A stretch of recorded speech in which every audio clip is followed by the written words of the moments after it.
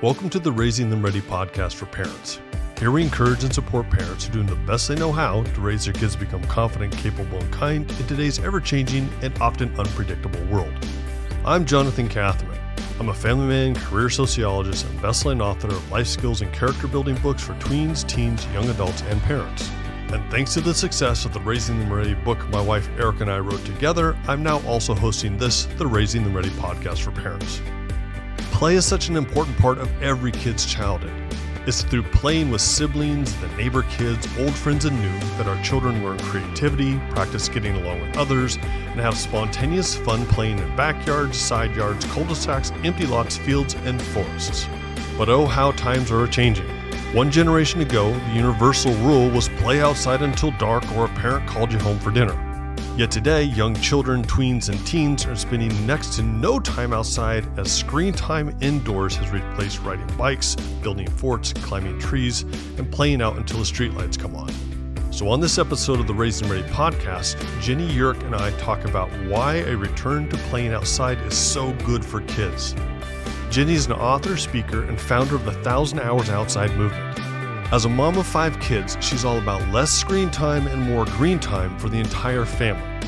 Practicing what she's teaching, Ginny's family spends over a thousand hours each year playing, learning, and working outside and unplugged. So, welcome to my playful conversation with Ginny Yurich about how being outside is such an important part in parenting kids who grew up to become confident, capable, and kind. I know you're going to be inspired by her passion for being the kind of parent who sends their kids outside to play and joins them too. A return to play and a thousand hours outside is what Ginny and I are talking about on this episode of the Raising Them Ready podcast for parents. I remember growing up as a kid, the worst thing my parents could say to me was go inside and go to your room that meant I had to come in from play and just be confined in this space. And it just, it broke me. It broke me every time. Mm-hmm. What has happened that we have flipped the switch? It's completely 180 degrees now. The worst thing you tell a kid now is go outside. Yeah. What has happened? A whole lot has happened and it's really sad. The, the whole situation is that there's no kids outside anymore. So that is what would draw you outside right? The possibility who's going to be out there? Who can i play with? There's going to be so much to do. And now when a child looks out the window there's no one out there. There's nothing going on. And so sometime in the 90s we had this really big shift where we're focusing on academics and all of a sudden parenting feels like we're in a race and we've changed the nature of parenting where we think oh my goodness i have to use these 18 years to prepare prepare prepare because the colleges seem like they're getting more exclusive, even though they're not. You know, there's all sorts of games going on with that. So we've got this academic piece. We've got this piece where we're trying to put kids into extracurricular activities. We've got the screens, and the screens are becoming more immersive. And so all of a sudden, we have these kids whose lives are filled, and there's no one out to play.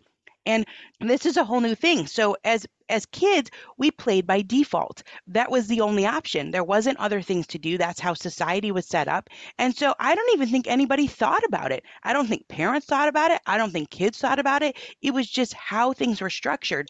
Nobody knew that actually it was really beneficial. Actually, all of that stuff that seemed frivolous and we didn't know that that actually all of that free time and that downtime and that self-structured time is helping kids in every facet of their development with lifelong benefits.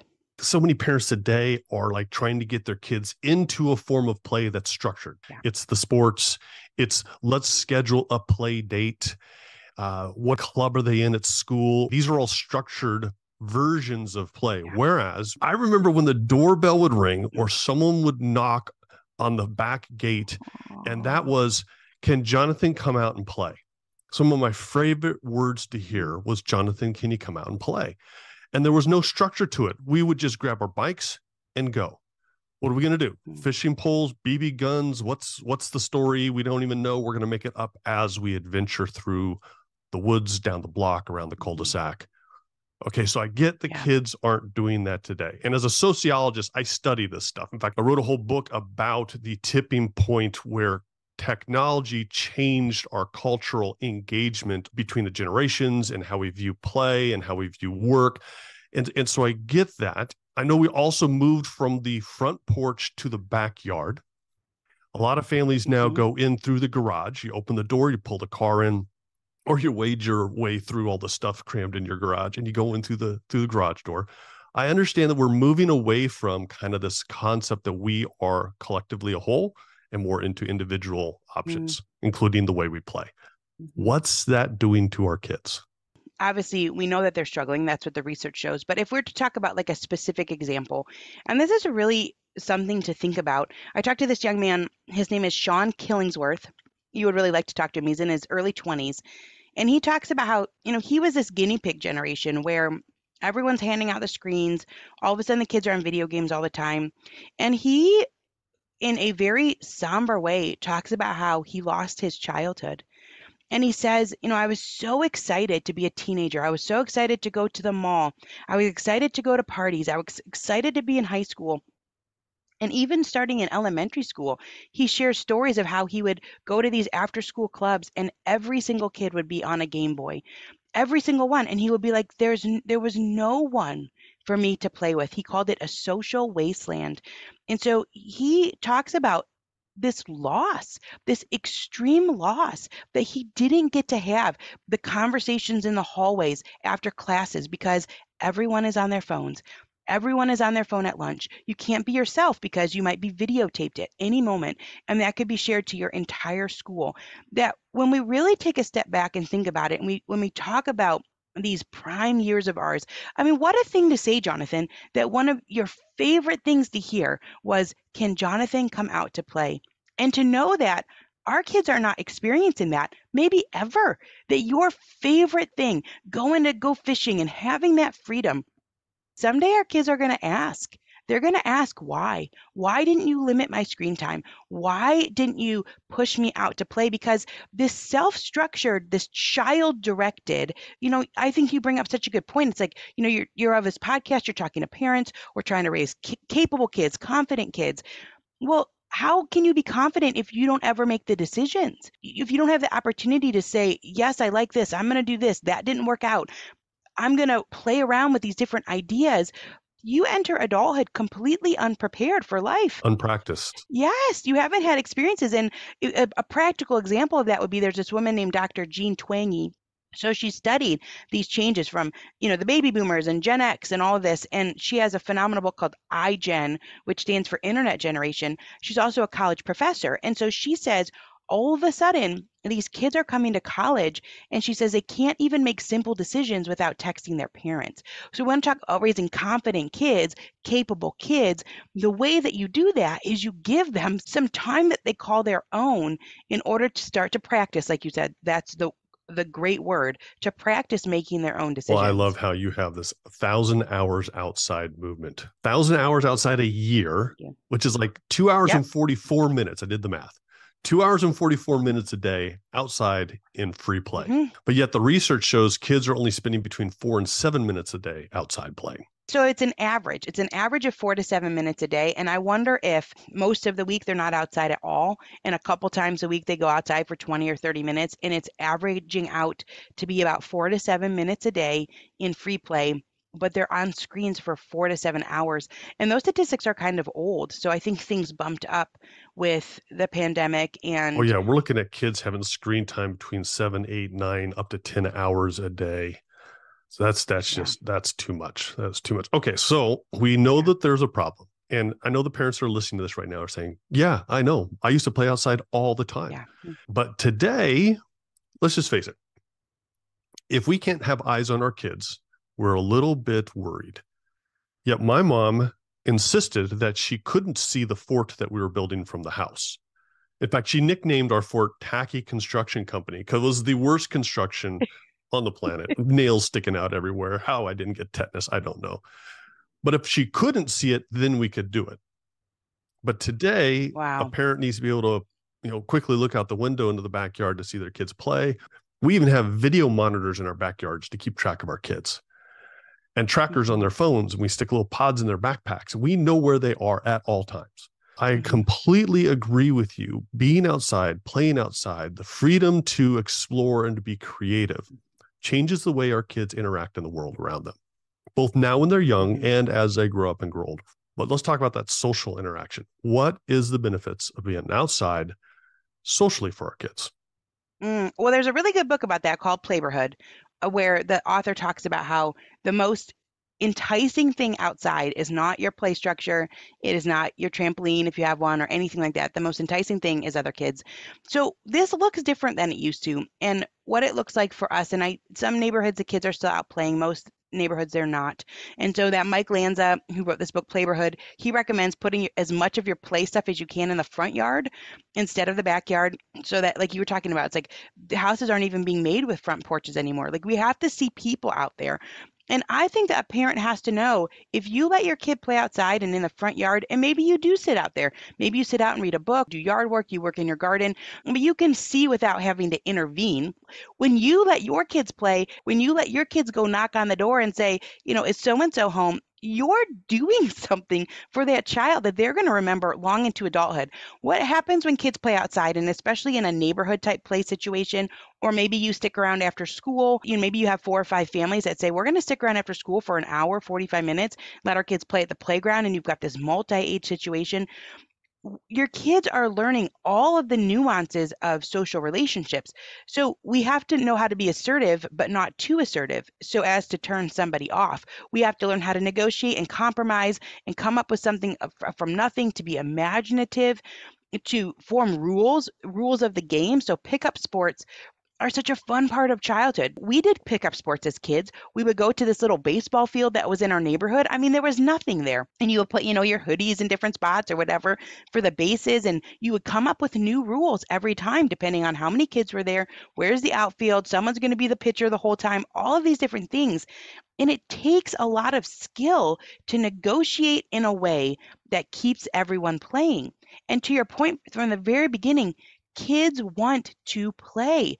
That is how they are wired. The worst thing is when the play ends, when they're sent to their room, when they have to go inside.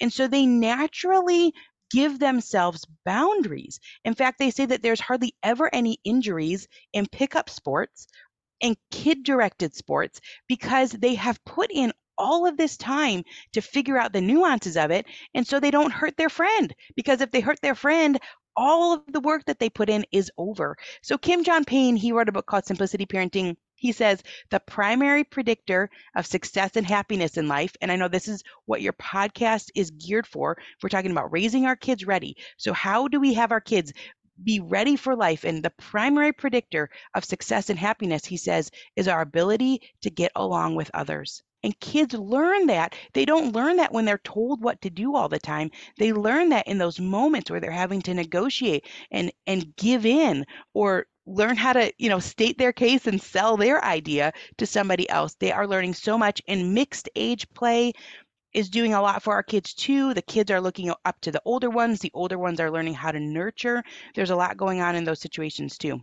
My favorite examples of what you just said about the mixed age play our sons um, kind of ruled the neighborhood with the younger kids. And i mean ruled like uh, not like like they were the bosses but they would organize the play.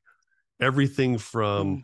uh, adventures through the woods to uh, to kick the can to videos on Thanksgiving Day because we had such a huge gathering every year for Thanksgiving with all the neighbor kids at our place, and then they put on a production and, and show us their video that mixed age play where you have the ability to near peer mentor and share and and God, I love that. That was some of my favorite parts of of our neighborhood here growing up. We moved into um, a, a large neighborhood that one of the reasons we moved from like you know more rural to more suburban is because we want our kids to be able to roll out the door and play with their friends and now mm-hmm. that they're adults, they tell us stories about what they used to do, which in a way horrify me, but yet they're fine.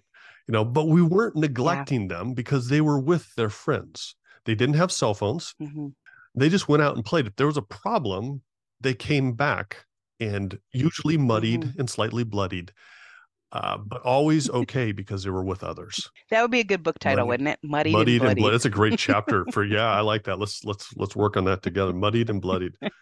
Again, let's go back to what we can do to help our kids get outside and play more often.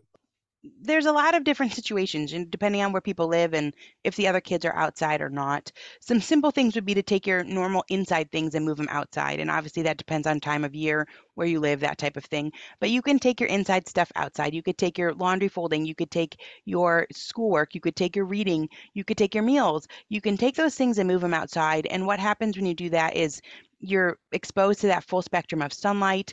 And people talk about what's happened with us too. It's like, well, then all of a sudden something entices your kid, or you you end up moving because something's out there and you want to go see it. And sometimes a 20 minute meal turns into an hour that your family is outside making memories or doing some different things.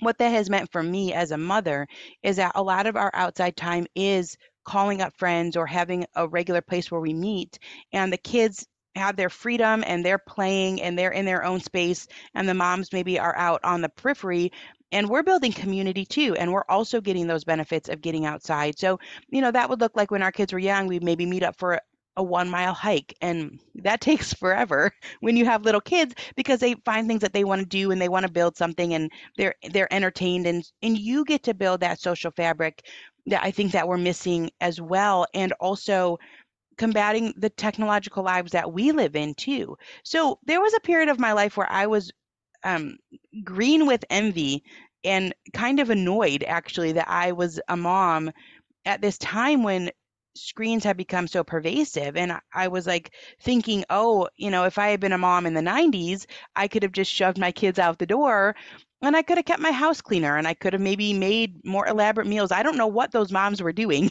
They weren't outside with the kids, they were inside. And so I was for a long time like, ah, you know, I, I'm the, a mom a couple decades too late. But really, truthfully, if I think about it, my life has been very enhanced by our time outside. I've been outside just as much as our kids.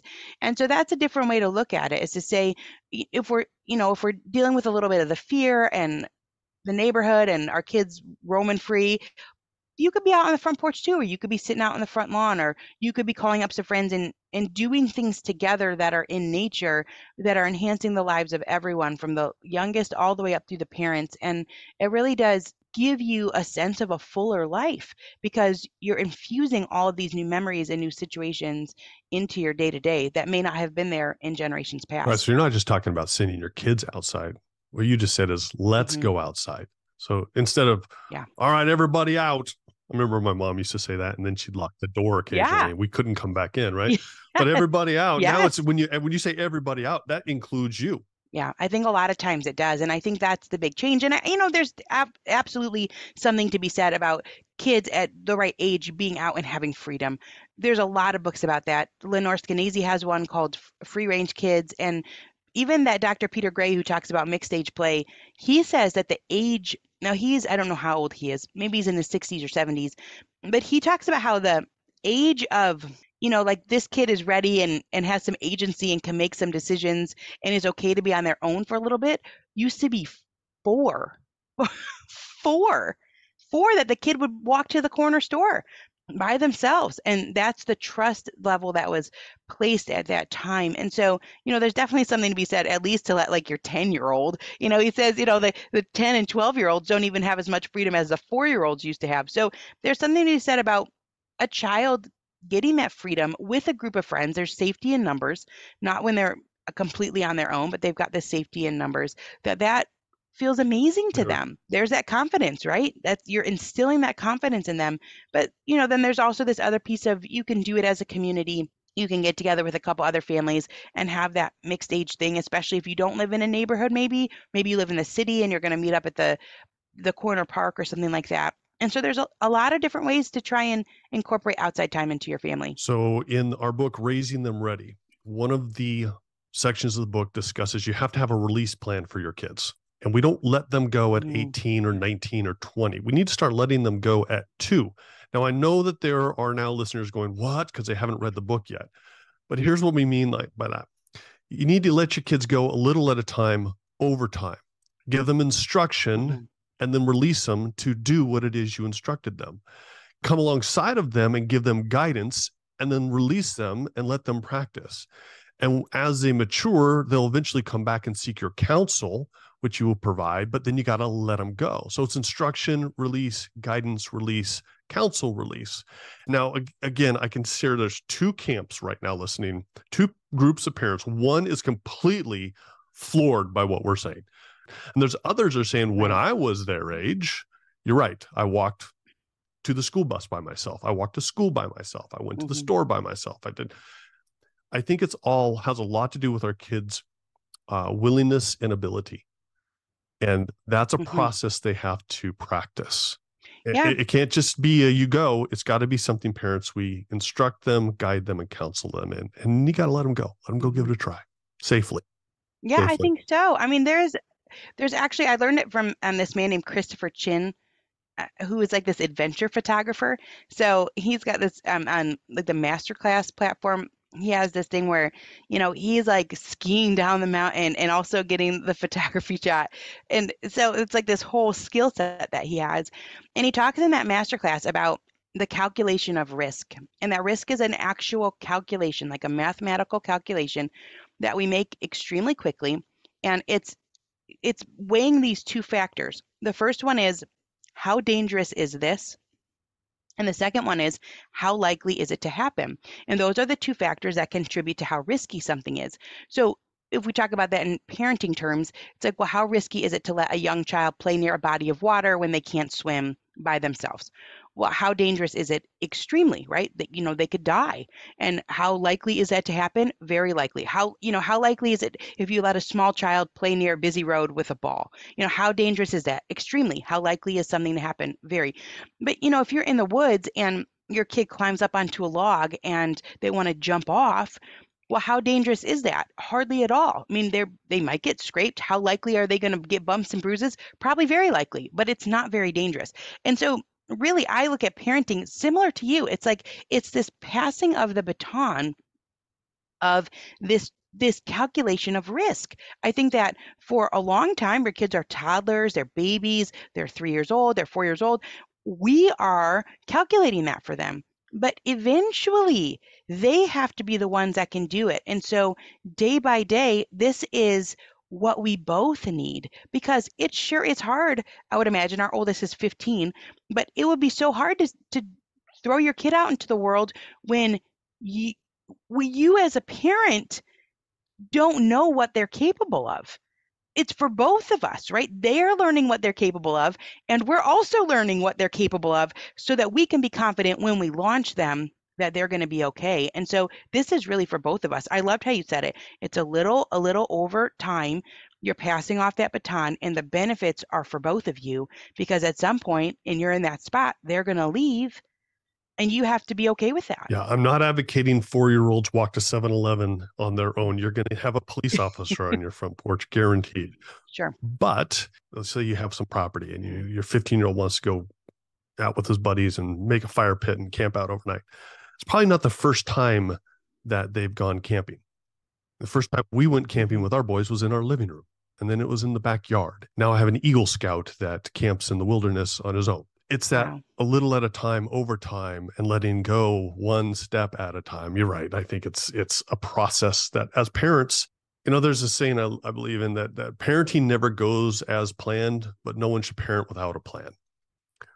So, mm. parents, I think part of your plan needs to be get your kids outside, join them outside, mm-hmm. move into a little less screen time, a lot more green time, get it, an idea of how they're doing and how we're doing. Yes, yes. Are we capable of letting go? Yeah, so many parents just can't let go. It's not their kids' deal, it's the parents' deal. Yeah, and nature, nature and growth, the I think the premise of nature and getting kids outside gives them the opportunity to little by little try harder things. And so they're learning what their bodies can do and at the same time we're learning to let go and it's this beautiful passage of time where we pass the decision making over to them in small increments wonderful okay things kids should know how to do outside I, I, think for sure kids need to learn how to ride a bike and they need to learn how to swim anything else mm-hmm. on a mm-hmm. short list that for sure kids should learn how to do outside? I think those are two big ones and they're fun ones. Those are really fun milestones. You know, when you talk about development and the brain, as kids learn more complex things, their brains continue to develop and they form new wiring. We sometimes forget that after a child learns how to walk, there are still a lot more opportunities for complex movement. Riding a bike is a great example, swimming is a great example, casting a fishing pole, shooting hoops, riding a skateboard. So, this opportunity for moving in complex ways grows with your kids when they have the time and the space to engage in different types of outdoor activities. I think every kid should know how to roast a marshmallow. Do you burn I it? know. I- Oh no, no, no, no. I, it's it like it tans up. It's like perfectly crusted. Oh yeah, it's the best. But every Mhm. kid needs to know how to do that, which I then back up and say, I think every kid needs to learn how to light a fire properly. It's a never ending pool of options. There's so many different types of things that you can learn outside, and all of these things offer an endless amount of learning opportunities. Skipping rocks. We sound like two Yeah. old people right now. Jump, Jump rope. rope, yeah. Jump rope. Every kid should learn how to jump rope and skip rocks. We used to count how many skips on on like a rock on a pond, as well as how many Mhm. times you could skip jump rope. Yeah. hmm square. I mean, those things were so fun, and it's really good for your development. We bought our kids big boxes of, of sidewalk chalk and then would turn the front Mm-hmm. driveway into square and obstacle courses. And so this is a push I have for parents is um, don't hog your driveway. You know, be- because your big SUV just sits there parked doesn't mean it's not the perfect playground for your kids. Move the car to the street to a different space Mhm. so that the kids can play in the driveway and and don't be upset when you come out and and you're like oh my goodness look at all this just chalk all over or look at all the bikes strewn everywhere you know wonderful celebrate favorite story one of my favorite stories i used to travel a Mhm. lot and i came home from a very long business trip and i was exhausted. And all i could think about was just getting home and trying to decompress. And i come around the corner and there in my driveway blocking the entrance is like a dozen bicycles. And my first thought was darn kids. You know and then immediately i got this like something sparked in me. And it's like this little joy bubble burst. And i'm like this is the Mhm. best ever because that was how when i was growing up i knew where my friends were and so yeah i you know park on the curb and come inside and just a house full of kids and i'm like this is the best ever driveways blocked with bikes i love it Yeah. over the last 10 years you spent over a thousand hours a year outside what's that done for you Mhm. as a family Well, it just gets more fun and more fun. And I think that's an interesting part of the whole journey. So often things change. You know, we're dealing with different stages and different issues, and they're, they're little or they're biting. We're trying to get them to be potty trained. We're trying to get them to sleep through the night. Like you have all these different things, and you master it. And then that issue is done and over with. You don't ever have to deal with it again. So it almost feels like this waste of a skill. But with getting kids outside, the research says it's necessary. The average kid should be outside is about three hours a day. And that's for all ages of kids. That includes your teens that are in AP classes and that are in extracurricular activities and that are sending out college applications. The nature time is important for them just as it's important for the babies. So over time, this has looked like okay, I'm literally carrying all three kids because they're all fussy and whiny. And I've got, you know, one on the front, one on the back, and one on my arm. And I'm pushing the stroller that has all of our stuff with the other hand down the trail. I mean, that's what it looked like at the beginning. Well, what it looks like now is that everyone is confident and capable. So we can go do really expansive and fun, like even fun for an adult. So our youngest is seven. She turned seven this summer. So she can go whitewater rafting now. Like she's hit that minimum age. You know, we can go on these more expansive hikes. We can do things that are a little bit more difficult. So, I mean, at the beginning, it was great. It's beautiful. You're out in nature, your kids are engaged, you get a little bit of an exhale.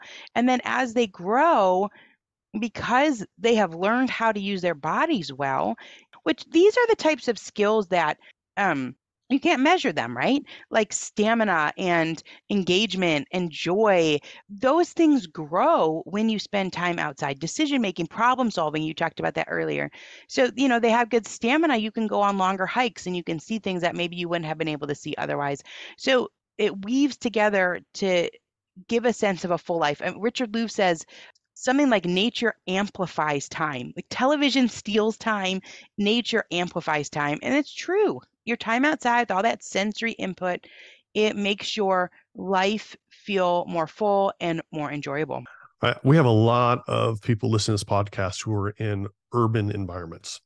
And so they can hear us Mhm. talking about camping and hiking, and they're like, yeah, it's just like a concrete jungle here. we have to remember that no matter where you live, there are pros and cons. So if you live in the city, there's a lot of places you can walk to. And Dan Buettner, who uh, is from, he's got like a National Geographic show that just came out. He talks about living to be into your hundreds. He studied all of these centenarians in these different places in the world. And he says one of your best things is to be in an area that's walkable. And so if you live in the city, you live in a place that's walkable. So you could walk to your grocery, you could walk to the library maybe. My brother lives in Brooklyn. There's a lot of these corner playgrounds. You can walk to those. But then you're, you know, you're missing out maybe on that neighborhood option. You're missing out on a farm or like you said camping out in the backwoods. So there's pros and cons to living there. I had a interview one time with Dylan Dreyer on the Today show and she showed she's like look out my window i'm on the fourth floor i'm in the middle of the city. But i tell you what there was birds and trees everywhere. She turned her whole computer to show me and there was like the spring and the trees were budding and there's birds and you know um, there's a dr scott sampson he says nature is everywhere thrusting up in the you know the cracks of the sidewalk. You know if you're in a suburbia you got this neighborhood component maybe but you're you're not in a walkable area quite so much right? You don't have the option to walk to the grocery store or something like that. And if you're in a rural area you've got all the space you've got the space to roam but there's no kids. So there's pros and cons to no matter where you live and there are ways to to get benefits of full spectrum sunlight and the surround sounds of nature and all of that no matter where you live. And okay, so let's also talk about um, bumps, bruises, scratches, and scars. Yay, good for those. this is the part of childhood. I mean, I think that's why our bodies are made to heal. And, you know, we might have a scar. I mean, my kids have some scars, and we have them, and they're stories. Our scars tend to be stories. And, and I think a lot of people like theirs. You know, they tell the story of when this happened, or I did that, or the other thing. But what's happening is this is where we're learning the risk, right? Like our, our bodies are learning what they can and can't do. And there's this man, um, his name is Joel Salatin, and he's a grandpa. He's a farmer in Virginia in the Shenandoah Valley. And he just came out with a book called Homestead Tsunami. And he's talking in that book about our immune systems and that we're we're built to have a little bit of an assault on our bodies so that our bodies can stay sharp, basically. So he talks about, you know, like getting out, getting dirty, getting in the dirt, um, you know, eating some fruit from your garden or vegetables from your garden that you didn't completely sanitize and wash off. But he also says he loves to get little scrapes here and there and be out in the brambles and come in, you know, with all these scratches, he said, because this is building my immune system. My body is having to work to fix those things. And so I just thought, like, as an adult, I'm like trying to avoid as much as possible any scrape or any bruise. But I thought that was an interesting perspective. It's giving our bodies a chance to work and to work the way that they're meant to. And so it is. It's just part of childhood. We call them summer knees. You know, where the like the whole summer their knees are scabbed, but that is a sign that they're learning how their bodies are working as they grow. It's like they start really small, close to the ground, and so this is once again that little by little bits of growth where they learn that they're confident and capable. And I think, you know, some knee scrapes and some scrapes on the elbows, those are a great sign that your kids are learning what they need to be learning about their bodies. I've never met a parent who does not want their child to grow up to be resilient. Yet, Right. in order to be resilient, you need to engage and encounter resistance. There is no resilience without resistance.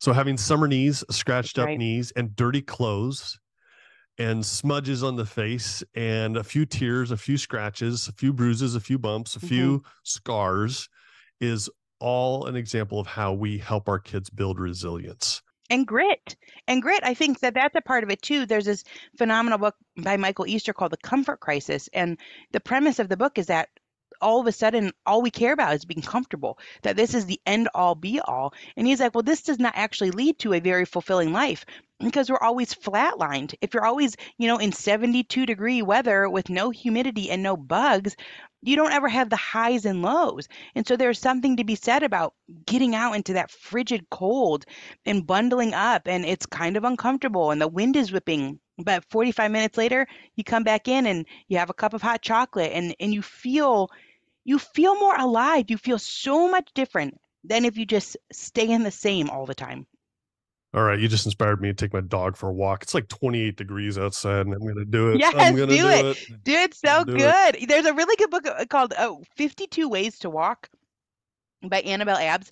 And she, it's one of my favorite books. And she talks in there about all these different, like walking backwards and walking by water. And one of her things is uh, getting out in the cold and how beneficial that is for so much of your body. And um, so it's an inspiring read for sure. But the cold weather, it does You read a lot. You keep saying there's this really lot. I like great book read. by. Okay, so let's talk about another really great book by Ginny Yurich. Until the streetlights come on. Here's the premise this is a message of hope that if we return to play, which is how kids used to do, a lot of kids would play until it got dark or they would play until the streetlights come on. They had that freedom. That if we return to play, it makes today better and also prepares kids for this future that is changing rapidly.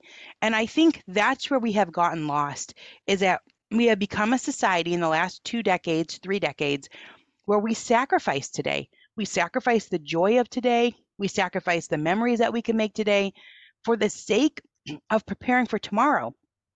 But the problem is, tomorrow is changing. We don't live in this world where you're going to have your career for 30 years.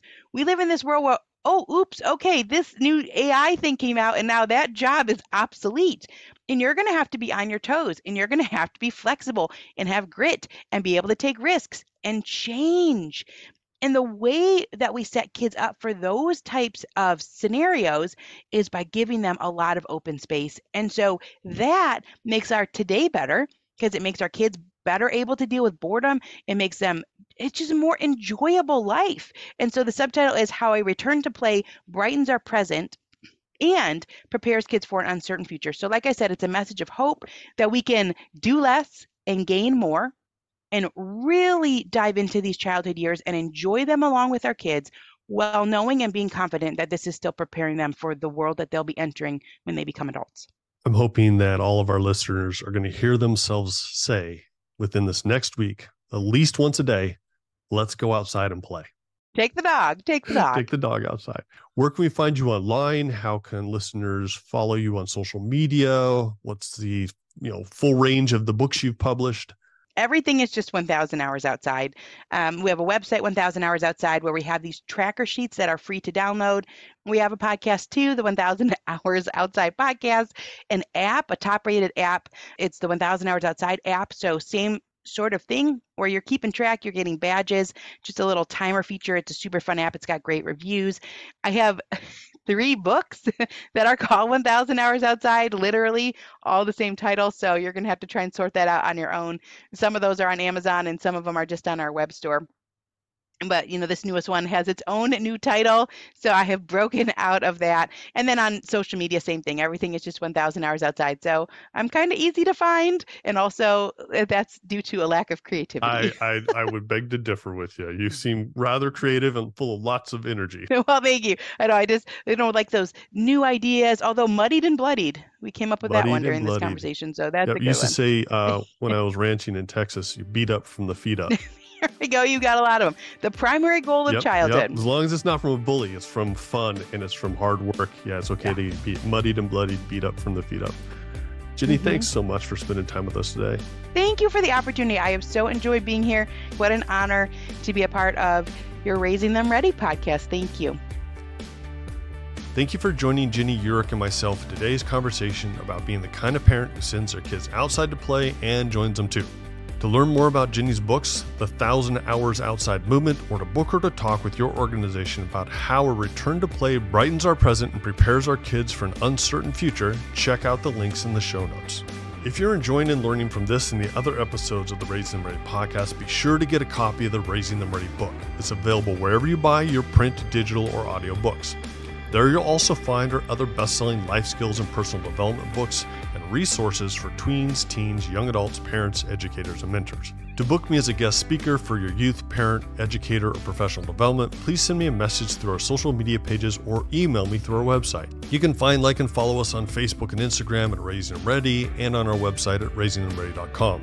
Also, please follow, share, and leave us up to a five star review wherever you listen to this podcast. If you have questions, comments, or suggestions about topics or guests you'd like me to bring to the Raising Ready podcast, I'd like to hear from you. contact me through our social media pages or website. Again, we're on Facebook and Instagram at Raising Them Ready and online at raisingthemready.com. Now, parents, go and enjoy raising your kids ready, knowing your children's greatness tomorrow begins with your guidance today.